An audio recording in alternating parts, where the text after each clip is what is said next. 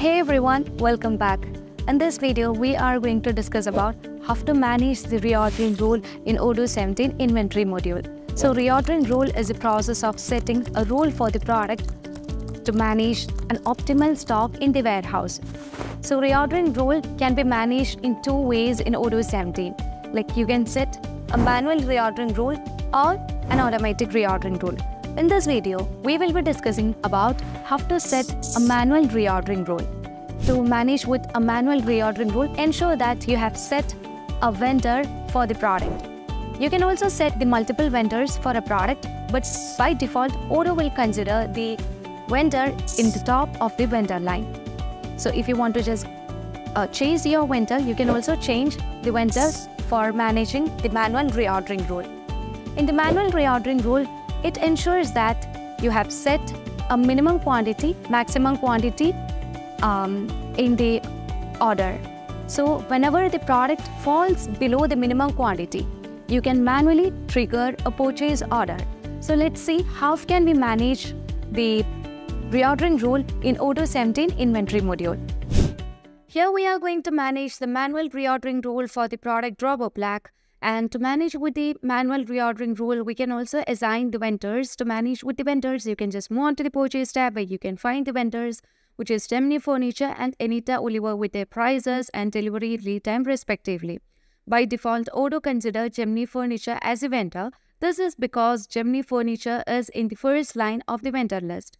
To manage with the reordering rule, let's move on to more button where you can find, we can set the reordering rule. So here you can find that the on-hand quantity of drawer Black is set to 0, which means we don't have any quantity in our warehouse. Now you can see that the forecasted quantity is set to minus 1. This is because we have just received an order for the product drawer Black for one quantity as we don't have sufficient quantity in our warehouse or in the stock to deliver the item to the customer. That order will be pending and the forecast will be set to negative which is shown over here. Now we need to set a rule in order to manage with the manual reordering rule. So here we must have at least 5 quantity of Drawer Black in our stock. So whenever the quantity falls below 5, we need to generate the reordering rule in order to replenish the item in the stock. In order to avoid the overstocking, we can also set a maximum quantity. So here we can see that the maximum quantity that to be placed in our stock is 50. So this uh, never stock the item in the warehouse. And here you can also find the to order and to order is set to 51. And by using the equation, to order will be calculated maximum quantity minus forecasted quantity. Here the maximum quantity is 50 minus forecasted quantity is minus 1 which would give a result of 51. Now, as we want to perform the manual reordering rule, we can just trigger uh, the rule over here. So, as you just enable trigger, you can see that we have uh, two types of triggering, which is auto as well as manual. So, if you want to just perform the manual triggering rule uh, or manual reordering rule, you can set the trigger as manual. Now, we also need to consider the multiple quantity. So multiple quantities are used in a case where some suppliers only provide the um, yeah items um, in quantities uh, of multiple. So in such cases, we use multiple quantity. So let me set the multiple quantity as uh, 3. So here you would be able to find that uh, the quantity that we need to generate is 51 itself. So what happens if we change our quantity to 6 and all. Here you can see that the uh, suppliers would be only providing the Drawer Black in a multiple of 6. So in such cases, we will consider the uh, to order as 54. This is because when you just consider 6 ones are, that will be equal to 6 and that will not meet the minimum which means maximum quantity to order.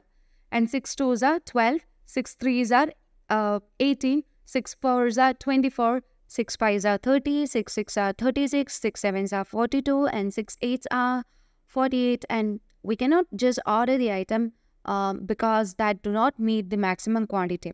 But when you just consider 6 nines are that would give 54 and uh, which meet the maximum quantity to order and we would consider 54 as a quantity. As we are performing the manual reordering rule, you can just click on order once and when you just click on order once, you would be able to find that the following purchase order has been generated and now let's review the purchase order. So let's move on uh, to the purchase order. So for that, you can just move on to the purchase module where you would be able to find that uh, we have just generated um, the yeah purchase order with the default for uh, default vendor as Gemini Furniture with 54 quantity. Now let's confirm the order and let's place the item in the stock. So for that you can just click on validate and we have just set 54 quantity in our stock. Now let's move on to the uh, inventory module itself and let's consider all the replenishment order. So if you want to just um, review all the replenishment order or all the reordering uh, rules, you can just move on to the operation tab and choose uh, replenishment over here and you would be able to find uh, the reordering rule that has generated. So when you just remove to order, you would be also able to find the rules that are generated and you can find uh, the product over here which is monitor stand and let me consider monitor stand and let's assign the vendor for this product so here you can see i'm going to assign different vendors such as abigail peterson as well as uh, i need uh, Beth Evans as my vendor and let me consider the cost of the product as 3 and um, here uh, Abigail Peterson will be providing uh, the product with uh, 2.88 and Beth Evans would like to provide the product with $2. And here you can see that uh, Beth as a uh, customer just order the item, the customer would be receiving the item on the that day itself. Like the delivery lead time will be zero. Like uh, so or uh, uh, when uh, we try to purchase the item, uh, we would get the item on the same day itself. So we can just set the delivery lead time as zero. So um, here you can see uh, this product has got multiple vendors and the on-hand quantity is minus 2. And here you can just go to the replenishment and let's set the rules over here. Here we can see that the on-hand quantity is minus 2 and the forecasted quantity is also minus 2. Now let's set a rule to replenish the item. So let me set 5 as the uh, minimum quantity that to be in our stock and let's set a maximum quantity to be uh yeah 30 and um, here you can see that the to order will be set to uh, 32 this is because we know uh, to order is calculated uh, maximum quantity minus forecasted quantity the maximum quantity is 30 minus minus 2 would give a result of 32 that to be order and place uh, in our warehouse. Now, um, here when you just click on the I button, if you want to just set a particular vendor, you can set that. And uh, by default, um, Odoo will consider, we know, Abigail Peterson as the default vendor because Abigail Peterson is in the first line of the vendor list. But I would like to set Beth Evans as my vendor. So if I need to purchase the item from Beth Evans, I can just set Beth Evans as my supplier.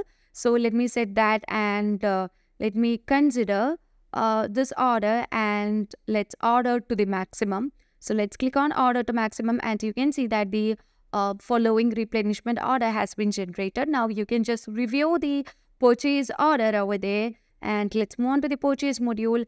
And as we have set Beth Evans as the vendor, you can see that we have just generated um, the, uh, yeah, purchase order with the vendor Beth Evans with a quantity of 32 and we can just confirm it and place the item in our stock. So for that, you can just click on validate. So if you want to just uh, know the on-hand quantity of the product, you would be able to find that the on-hand quantity will be set to 30. This is because we had a minus 2 quantity in our on hand. So we have just closed the uh, or we have just reserved uh, that quantity into the pending sale order. So that's how we calculate the on hand quantity. So that's all about uh, setting of manual reordering rule in Odoo 17 inventory module. So reordering rule never let your inventory to be empty state. So I hope this concept clarifies how to set a manual reordering rule in Odoo 17 inventory module. And if you require any Odoo customization or specific videos regarding Odoo, feel free to contact Cybrosys. And thank you for watching the video.